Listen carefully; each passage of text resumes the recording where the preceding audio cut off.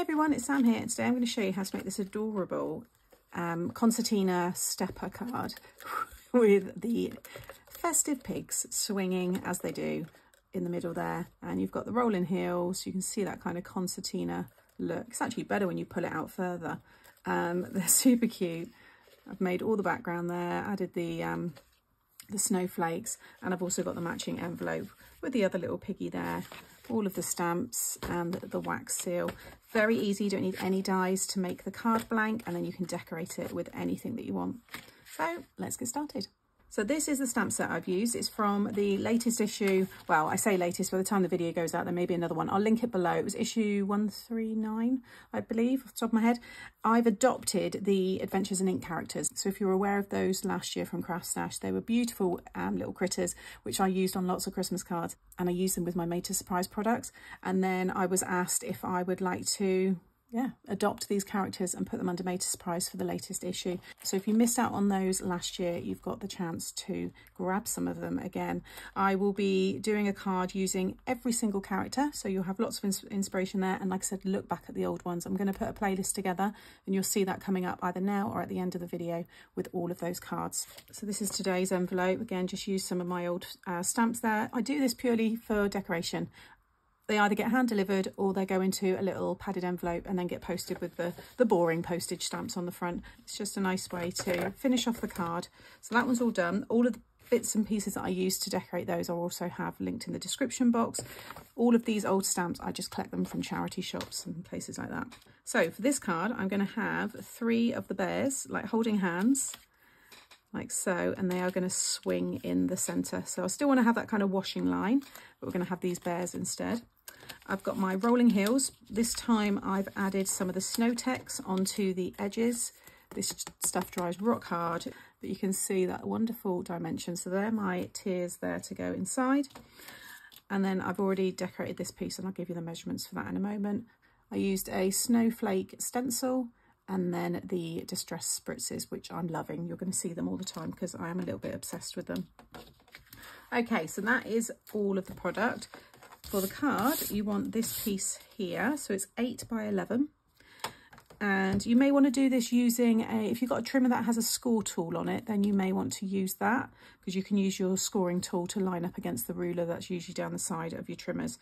But if you're doing it like me, what you want to do, if I hold it up, you'll see all these score lines are all within this rectangle, which is in the middle of the cardstock. There's no score lines coming from the edges. So along the eight inch side, you want to come down one and a half inches. So I've got my one and a half marker there and you want to come in one inch and then you want to start scoring.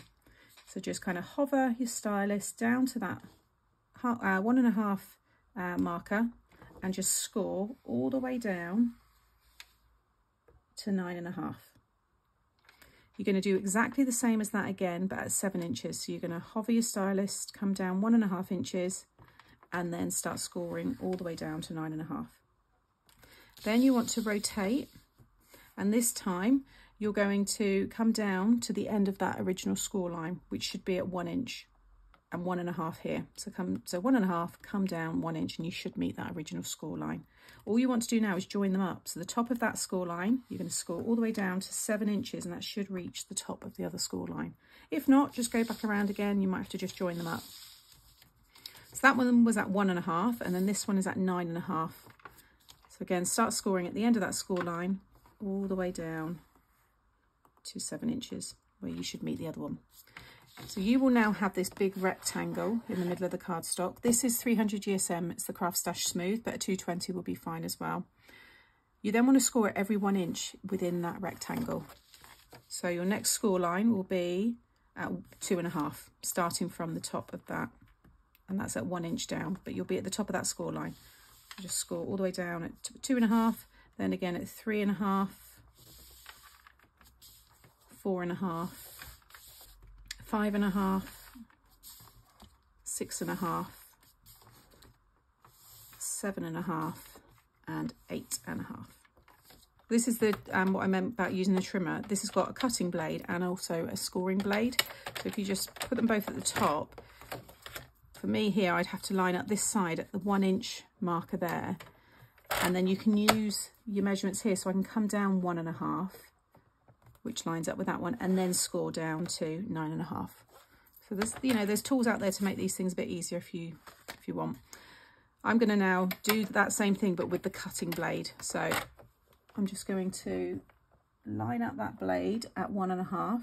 There's a little, if I just bring it up, there's a tiny little line here and you can line it up with, with the ruler. Okay, and push that down. You're doing this along the eight inch side. So you're coming all the way down to the very last score line, which will be at nine and a half. And you can see now I've got that perfect score. And then again, put that other end in and score all the way down. So now I've got two perfect cuts. Next, we want to do our concertina fold. So the very first one, you want to create a mountain fold and then you're going to do a concertina fold. So then it'd be a valley and then a mountain, valley. Oh, I've just realised I forgot to do the middle score line. Some of you, if you watch my live, you'll be like, she's missed the middle score line.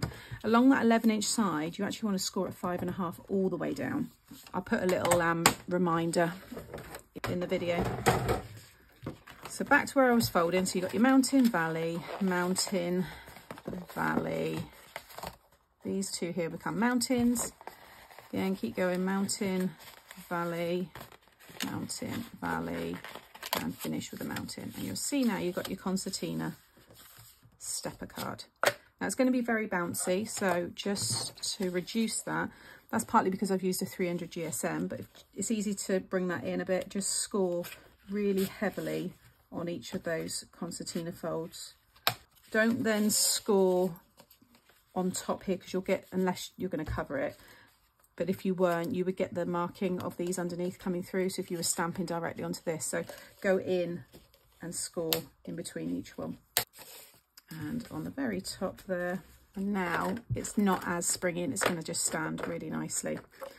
Then to decorate the front here, I've cut this piece down. Like I said, I already decorated it. Some of you might use pattern paper for this piece or just a different coloured cardstock.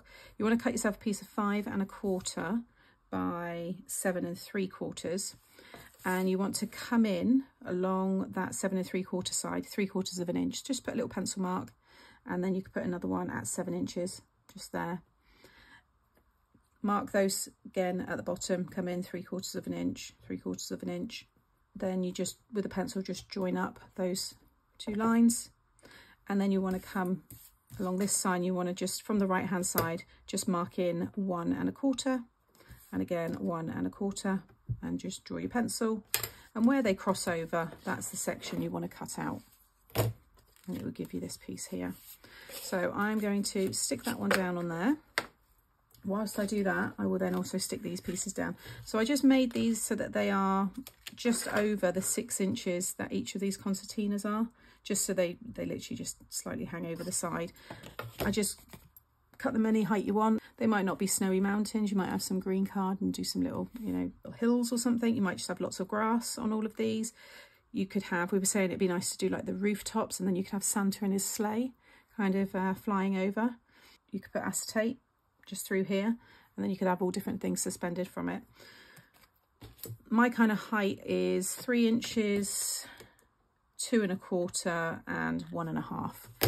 Just add a little bit of glue along the bottom and then just literally stick them on each of the concertinas. I think I did four on the other one. I'm just going to do three on this one, like so. You can see how they're all going to look with that on top. And then I'm probably just going to carry on and do the decoration as well because everyone's is going to be different. But I think, I'm wondering if I need the string of these. I think I can stick these directly, you know, onto the card just by attaching them, you know, by their hands. Yeah, they're definitely going to meet. I think that's going to look super cute. I've gone for the sentiment, have a berry Merry Christmas. That's going to go in the middle and then I'm going to decorate it further with all of the snowflakes.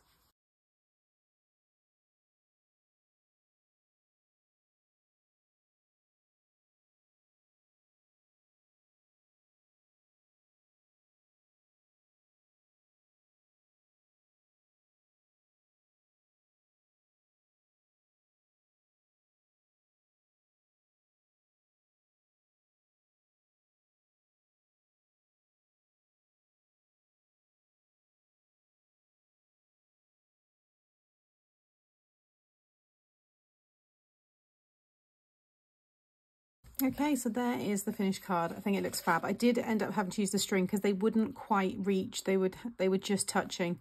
So this way I've got the one in the middle kind of swings around there and the other two are attached to the side.